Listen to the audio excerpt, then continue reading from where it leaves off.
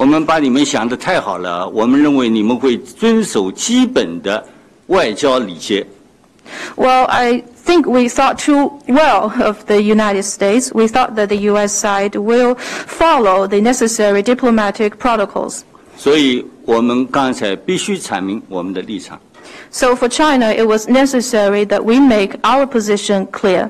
我现在讲一句，你们没有资格在中国的面前说你们从实力的地位出发同中国谈话。